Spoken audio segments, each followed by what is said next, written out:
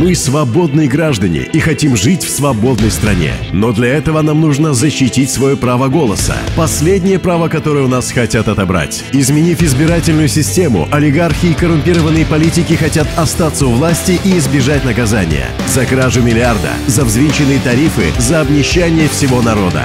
Не позволим им уйти от ответственности. Защитим право на честные выборы сейчас, или наши голоса ничего не будут значить. 11 июня в полдень все на протест перед парламентом.